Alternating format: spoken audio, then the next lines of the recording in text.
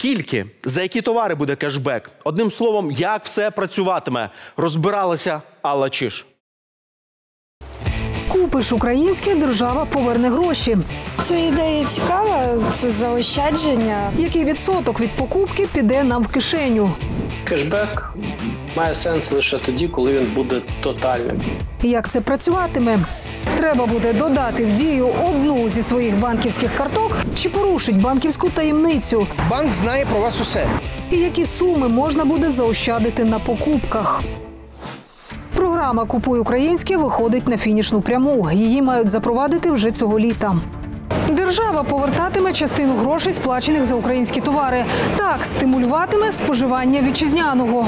Але цікаво, за що саме платитиме кешбек, в якому розмірі, на що його можна буде витратити, а також чи стягуватимуть із цих сум податки. Замить все це ми розберемо разом із фахівцями. А поки що думають про таку ініціативу самі покупці. Хоче запровадити кешбек за купівлю українського. Тобто, якщо ви обираєте український товар, то вам на карту повернеться там 5 або 10%. Я підтримую. Як вам така ідея? Огонь, ідея супер. Ідея цікава, це заощадження. Ну, кешбеки ми любимо. Ви готові за от таку за такий стимул, за таку підтримку обирати саме українське? Так, звісно, готова. І розкажіть, що здебільшого зараз купуєте в плані виробника? Ви дивитесь етикетку? Ні, ні, не дивлюся. Але за кешбек готові. За кешбек готова, так, звісно. Чи вдасться президенту і уряду у такий спосіб прищепити нам звичку купувати українське? Звісно, залежить від того, які товари візьмуть участь у програмі і з якими цінниками. Наші ж українці люди надзвичайно е, ну, прагматичні. І е, той товар, який буде йти по кешбеку, він в будь-якому випадку має бути належної якості. Якщо пропозиція товарів, які будуть е, підпадати під кешбек, буде, по-перше, достатньо широкою, і вона буде по якості не гірша, ніж ті товари, які е, будуть е, конкурувати на полицях Загалом йдеться про харчові продукти. За попередньою інформацією, також будматеріали, побутову хімію, одяг, взуття. Кешбек має сенс лише тоді, коли він буде тотальним, коли він буде стосуватися великої групи продуктів. Тоді він матиме сенс і вплив на розвиток бізнесу. Коли ж буде е, він е, знов секторальним, чи будуть визначені лише окремі групи товарів, е, це в цілому призведе до дискреції, до, до галузевого диспаритету, коли виявиться, що одні галузі розвиватимуться інтенсивніше за інші. Вас, наприклад, особисто це спонукатиме купувати українське. Е, Так, в принципі, я стараюсь вибирати українське. А яка би сума кешбеку для вас була б стимулом? В принципі, це особливо не має значення для мене. Якщо товар якісний, то я завжди куплю українське. Але для більшості з нас сума таки має значення. Як гадаєте, яким буде відсоток компенсації? До цієї теми незабаром повернемося. А поки ще кілька деталей про вимоги до товарів. Головне питання: яку продукцію вважатимуть українською? Наприклад, якщо цей рис імпортують із Азії, а фасують у нас, це український продукт чи ні? Очевидно, що ні. Але в уряді кажуть, навіть якщо товар лише фасується, тут вже є якісь виробничі потужності і додана вартість.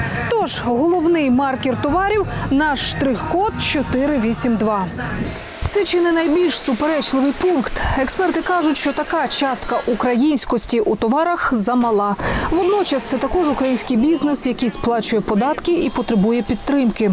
Сподіваюся, що не потраплять в такі категорії товарів ті товари, які просто перепаковуються. Що суттєва частина виробничого процесу має стосуватися саме України. Що значить власна продукція? Якщо локалізація 5%, ну давайте ми згадаємо, як визначалася локалізація в машинобудуванні. 35-40%.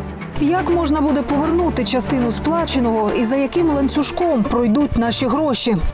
Головних учасників в цьому процесі буде п'ять: продавці, тобто магазини, виробники, дія, куди ж без неї, монобанк.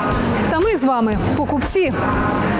Аби стати учасником цієї програми, треба буде додати в дію одну зі своїх банківських карток і надати державі дозвіл на перевірку всіх транзакцій. Після придбання товару магазин передасть фіскальні чеки з даними про штрих-коди у дію. Там виявлять покупки, за які належить виплатити кешбек. Ідентифікують покупця, підтвердять факт оплати і нарахують компенсацію на спеціальну віртуальну карту на зразок є підтримки. Чи не занадто складно? Це є оптимальним рішенням і лякатися, що пенсіонери, е, не цифрові люди матимуть складності з тим, тим, щоб отримати таку віртуальну додаткову картку. е, Я б е, на це не орієнтувався. Дуже швидко вони опанували використання складних програм лояльності і бонусних програм. А ще лякає фраза надати державі дозвіл на перевірку транзакцій. Вже виникли перестороги, що у такий спосіб уряд збільшить контроль за нашими грошима.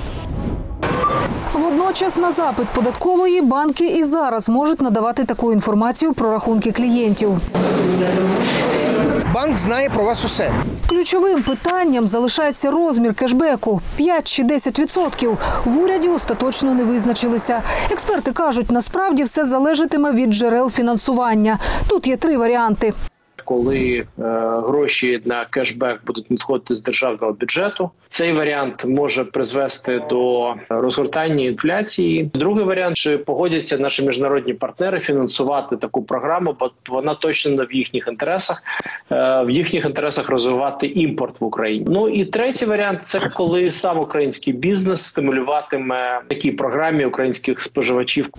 Якщо бізнес і долучиться до програми, йтиметься про кешбек у 2-3 Не більше вважає економіст Андрій Длігач. Можливо, з'явиться якийсь комбінований варіант на кшталт знижка від виробника плюс компенсація від держави. Та поки це лише версія. Загалом на кешбек за українське уряду потрібно знайти від 20 до 25 мільярдів гривень, і це тільки до кінця цього року. А ось чи можна буде витратити ці гроші на будь-що – велике питання. Ідеологи програми хотіли, аби за бонуси українці знову таки купували тільки наше. Але організувати це складно. План Б дозволити витрачати кешбек на послуги, як то комуналка чи проїзд у громадському транспорті. І остання інтрига: чи стягуватимуть з такого прибутку податок у майже 20%, як роблять це зараз із кешбеком від банків. Ймовірно, уряд спробує через парламент скасувати чи принаймні зменшити збори. Тоді тільки на продуктових закупках родина зможе заощадити кілька сотень на тиждень. Але чи ж факти тижня ICTV – єдині новини.